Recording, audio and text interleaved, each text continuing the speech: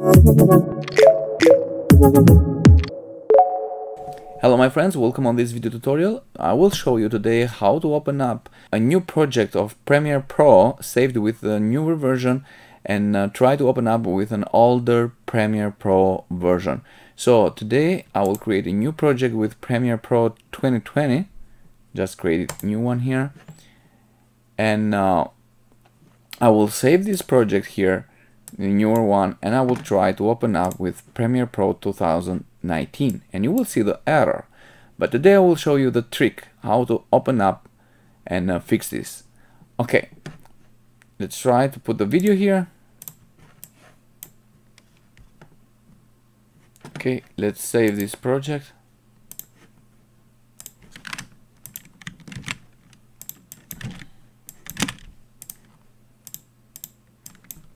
Test one.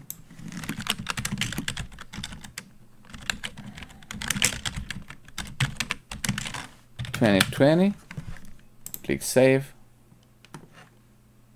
Close the Premiere Pro and try to open up this with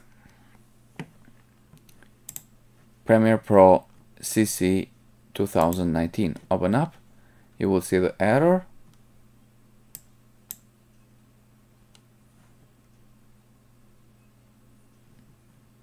Okay, this project was saved in a newer version of Adobe Premiere Pro and cannot be opened in this version. Click OK. Okay.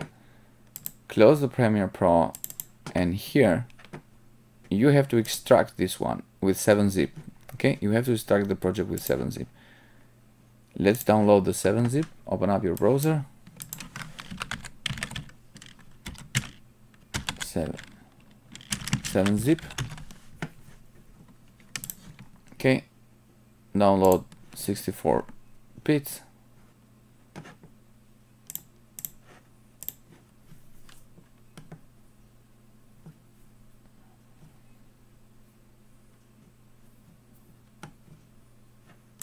Okay install 7-zip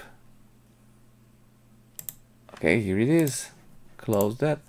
Right click on the project icon let's make it this bigger. Okay right click on the project icon. 7-zip and extract here. Okay.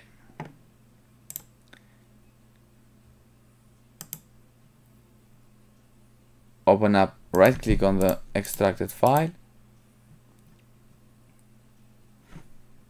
Open up notepad notepad drag and drop this on the notepad. Here you will see here is this line object ID version 38 remove this and put whatever a number. I put one. Click save. As it is close this. Right click on this file. 7-zip again. Add to archive and here change from 7-zip choose here from 7-zip choose to gzip here and here on the file write prproj okay and click OK.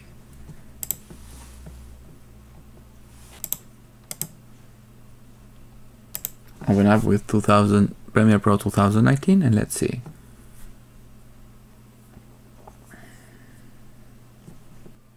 Okay, this project was saved from a previous version of Adobe Premiere Pro and must be converted. The original project will not be modified. Continue and click Okay. Here you are.